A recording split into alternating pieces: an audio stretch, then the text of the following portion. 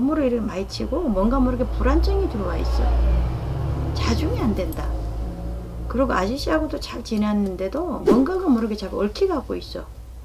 이 집에 둘이가. 네. 아니에요? 아, 그게 선생님 얽힌다는 뜻이 어떤 두 뜻인가요? 부부가 네네. 이게 다 터놓고는 사는 것 같아도 네. 뭔가가 뭐 벽이 싸진 것 같아. 사실은 응. 음, 신랑이 응. 이제 재혼을 하고 응. 아기가 몇 개월 만에 들어섰어요. 응, 그래서.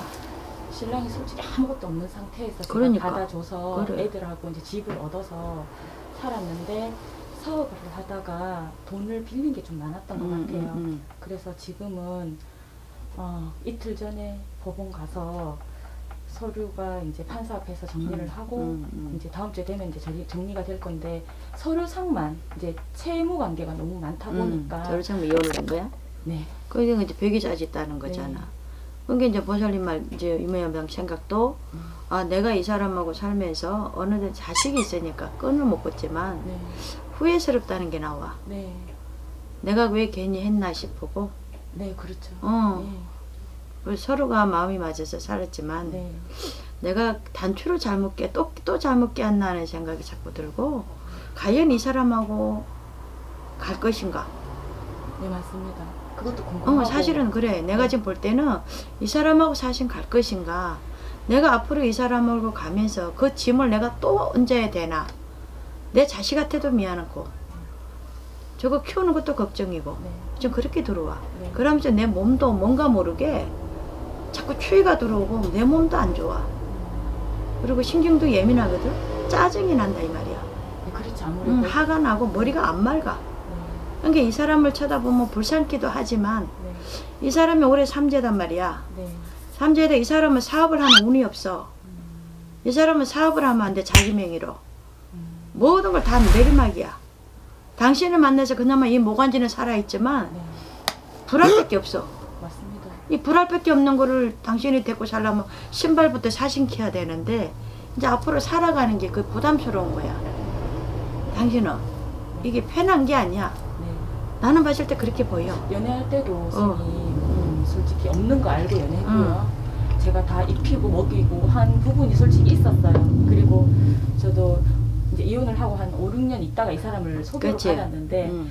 그냥 만나면서 저도 외로우니까 이 음. 사람한테 마음적으로 의지했던 것 같아요. 그렇지. 근데 이 사람이 모든 걸 다 오픈하고 이제 뭐 어, 신용 회복도 있었다는 것도 얼마 전에 알았고 이런 거를 다 오픈해서 했어야 되는데 나한테 꼭꼭 숨기고 그렇지. 그게 이제 또 저기 무서운 벽- 사람이라는 게 어, 그런 게. 이제 벽이 쌓여지는 거지. 예. 어느 날부터. 내가 아까 그러자 벽이 왔다. 네. 그러면 이제 생각이 많아지는 거야. 당신이 예전처럼 연애할 때 기분하고 아 다르죠. 이제 마음이 틀려지는 거지. 자꾸 이제 남남이 돼가는. 네. 서로 살 이제 정리가 있으면 자식 한 집에 살아도 어쨌든 보면 니는 니 내는 내가 돼버리는 거야. 자가 있기 때문에 그나마 내가 조금 보태는 가도 한 번씩 후회스럽고 내 마음에 우울증이 올라 그래. 어? 그리고 몸바리가 추워. 아랫배 쪽이 한 번씩 아프고. 어? 그리고 그러니까 내가 볼 때는 그 돈이 있었으면 차라리 보상을 좀 보내지. 와 이리 나나. 어? 아무리 당신이 이래 살아도 당신은 조상줄로 가야 돼. 조상에서 안 도와주면은 못 살아. 친정 조상에서. 이집 조상에서는 공을 너무 안 들였어. 근데 어머니도 제사를 참 잘 지내시고 제사 잘 지는 거하고 틀려. 아, 이 집에는 칠생의 줄로 엄마가 일찍 가셨잖아. 네. 본 엄마가 일찍 가신 게. 이 집에는 우때도 아마 할매가 둘이실 거야. 아, 할매가 우때 둘일 거야. 그리고 이 사람은 뭔가가 모르게 진실이 없어 별로. 사람은 첫 만날 때하고 끝과는 틀려.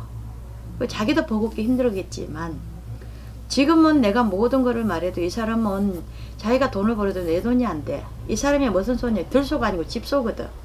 음, 소띠라도 집소가 있고 들소가 있어. 네. 이 사람은 들소가 아니란 말이야. 그 자기만의 고집이 아집이가. 네. 그러다 보니까 이 사람은 누가 나한테 도움을 줘도 인간의 덕이 크게 없어. 살면 살수록 힘이 들 거야. 그러니까 어차피 정리는 다 했지만 그러면 이제 마음이 뭐가 있냐면 가면 갈수록 옛만 마음이 아니고 내가 이제 벽을 쌓아가는 거지. 그 본인은 늘 이제 힘들고 본인만 괴로운 거야. 그래서 이 어. 사람하고 계속 가야 되나? 안 가지지. 말아야 되나? 내가 증거를 하잖아. 왜냐면 선생님 그러고 나서 작년 10월 달에 여자가 있었던 거를 음. 제가 2월 달에 초에 알게 됐어요. 그 전에 내가 절에 가서 빌고 108배하고 신랑 사업 잘 된다고 기도도 하고 막 이랬었는데 그 다음 날 터진 거예요. 그래서 인간바람도 솔직히 불어서 한 3개월 동안 정말 너무 힘들었는 상황에 이 사람 부채가 있는 걸 10월 달에 알았어요. 10월 달. 음. 갑, 그 금방 추석 다 끝나고 그 다음 날 알았어요. 몰랐지? 몰랐어요. 전혀 몰랐어요. 저도 대출을 1억 2천 해줬거든요. 집 대출을 1억 2천도 해주고 집도 깡통인 거예요. 다.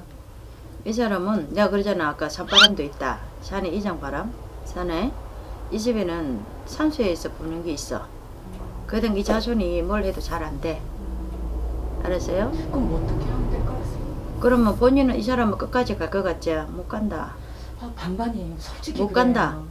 반반 못 산다 못 살죠. 제 성격이 못 어 살겠죠. 못 산다 당신은 당신을 잡아먹기 때문에 못 살아 당신 속을 긁어버려 네. 그럼 정신병이 와버려 그럼 힘들 것 같아요. 못 살아 음, 근데 지금 자가 걸렸기 때문에 네. 많이 망설이잖아 네. 처다한테도 상처를 줬는데 네. 나한테는 안 주려고 네. 하잖아 네.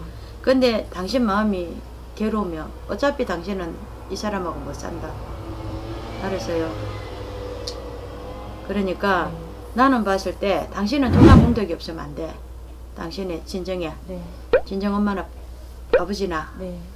전도 한번 풀어보세요. 그러고 나면 당신 이렇게 안 아프고 네. 이 신랑하고도 뭐시 공판이 빨리 떨어져. 그렇죠. 살되나 안 살다. 음. 근데 자, 아직까지 제가 미련이 있는 거 미전 있지 당연하게 있어야지. 왜?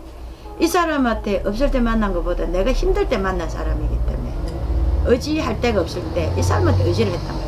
그 정은요 첫 정이라는 건 아무도 못해. 알아요? 네. 근데 그 정에서 시들리 갖고 지금 머리를 두 번 썼잖아. 네. 두번 쏘면 자식을 저걸 낳아나는 저한테 상처 안 주는 그것 때문에 지금 네. 당신이 미련을 지금 많이 줘. 저거 없었으면 벌써 끝났다. 네, 맞아요. 당신 성질이 뭐 보통 성질이가. 네, 맞습니다. 5년 전에 끝나. 그래. 끝났는데 저기 낑기는 바람에 네. 저쪽에 이 집에 저 집에 시준 할매가 칠성 할매가 야를 인태해 준 거야. 왜 자기 자손이 불쌍하니까 네.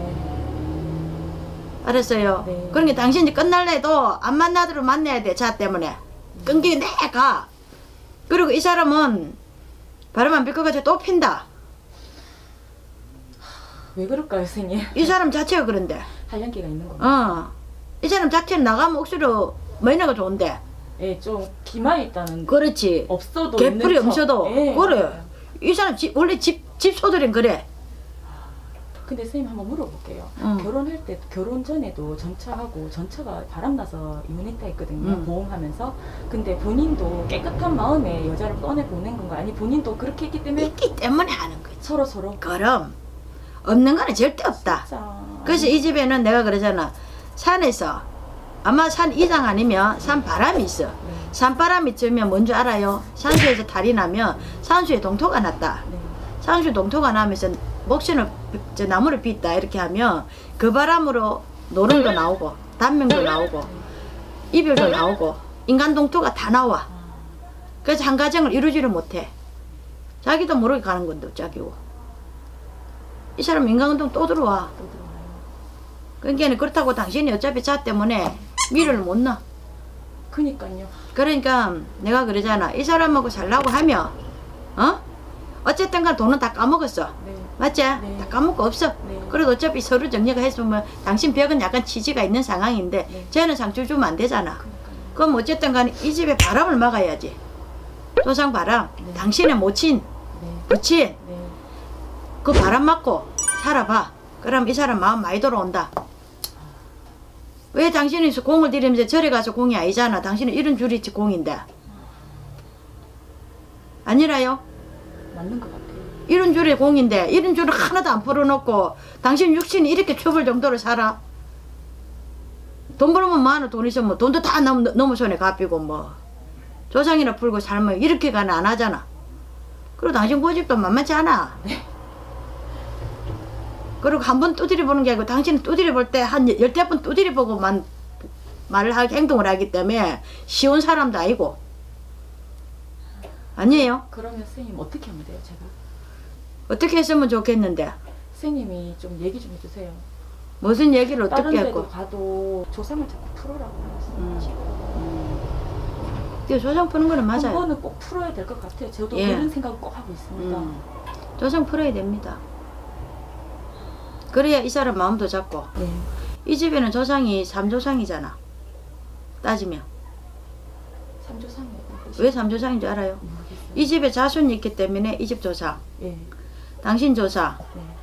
당신 애들 있잖아. 네. 당신 애들 집도 조상이 있어. 네. 그 삼조상이잖아. 네. 삼조상을 같이 풀어내야지. 그래 당신 얽히고 섞인 덜 하지. 그리고 한 번은 뒤통수 맞았으면 이제 두 번에 맞으면 안 되잖아. 그렇죠. 그래. 그걸 왜 안 풀고 그러고 가? 그냥 시, 신랑이 사업하고 뭐 장사 사업을 해도 네. 이런 바람은 사업을 해도 이런 바람에서 풀어주 갖고 사업을 해야 인간 동토도 맞고 돈도 맞고 사업도 물어가 갈까 이가 몰랐어요, 솔직히. 뭐로 보러 다니노 이런데 같이 살 때는 이런 거 보러 안 다니다가 그러니까 당신이 그게 잘못이야 힘들 때 딱 이제 원래 그래 힘들 때 이런 데 오는데 당신은 네. 그 전에부터 이 줄이잖아 이 줄로 밀고 가야 되잖아 네. 근데 이런 데는 안 가고 맨날 절에 가서 백발배하고 밀면 뭐하노 안 되잖아 그건 당신만 살라고 하는 거지 다른 거는 아무 낮은 게 없잖아 예, 그런 것 같아요.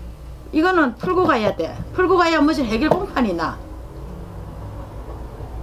천도지 아니면 뭐 어떻게 해야 돼서 이거는 조상을 풀어갖고 실성을 풀고 양조상을 다 풀어갖고 그래 가야지.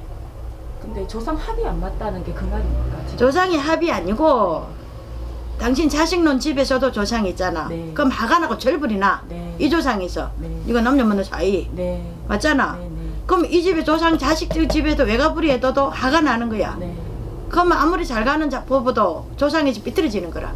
그러면 이 집에 조상 엄마가 아무리 해줄래도 나를 안 풀어주니까 내가 어떻게 힘을 못 쓰는 거야. 그리고 이 집에 엄마가 일찍 돌아가셨잖아. 얼마나 불쌍해. 네. 그럼 이 자식을 도우려니까 이짝 조상에서도 괴롭히는 거야. 그게 재혼이 어렵다는 거야. 아, 무슨 말씀인지 알겠어요. 알겠어요? 예, 예, 무슨 그래서 이 알겠어요. 조상을 풀 때는 네. 다 풀어야 돼. 안 풀으면 안 돼, 이거는. 그래, 이 사람 정신도 똑바로 돌아와.